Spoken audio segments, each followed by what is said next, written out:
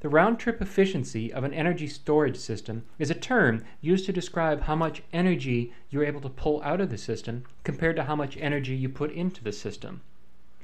We use the Greek letter eta to signify this efficiency, and we say that efficiency, eta, is equal to energy out over energy in.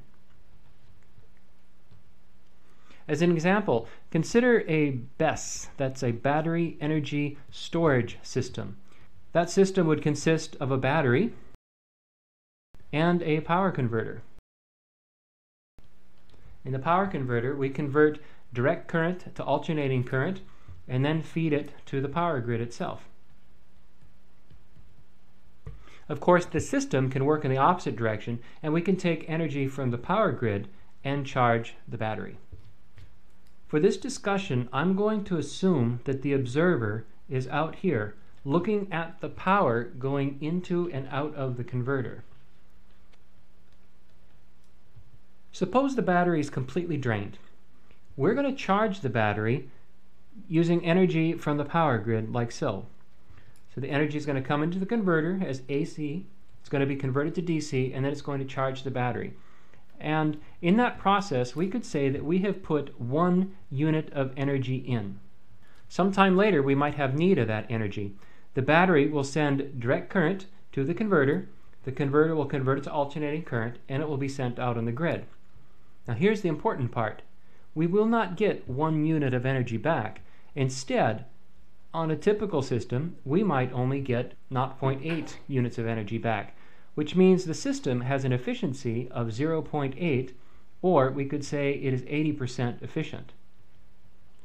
So you might ask, where did that extra 0.2 units of energy go? Well, there's this pesky thing called the law of thermodynamics, and it turns out that no energy conversion is 100% efficient. You heard that right, no energy conversion is 100% efficient. And in this particular case, we have at least two conversions.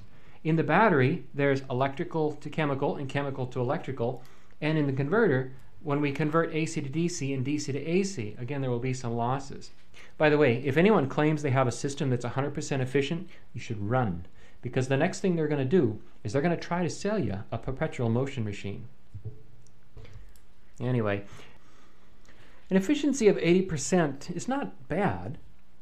In fact, if you were to take a pumped hydro system, that's about what you can expect.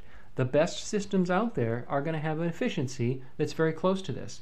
Likewise, a lead acid battery based storage system would be slightly less than this, and a lithium ion battery system might be a little bit better.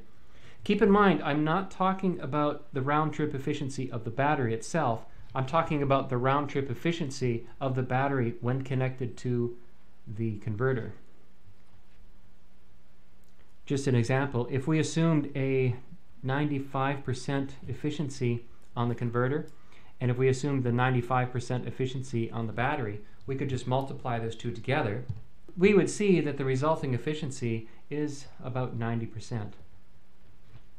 Before I forget, you might be wondering where that 0.2 units of energy went. The answer is really simple. As the battery is charging and discharging, there will be heat given off.